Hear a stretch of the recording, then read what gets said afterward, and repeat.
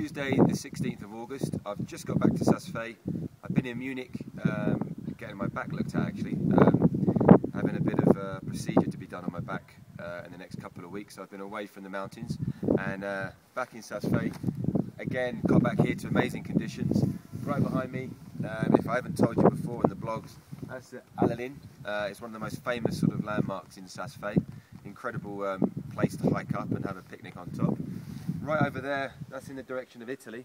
And if you can see, I'm not sure if you can, but if you can see there's a, a beautiful inversion going on.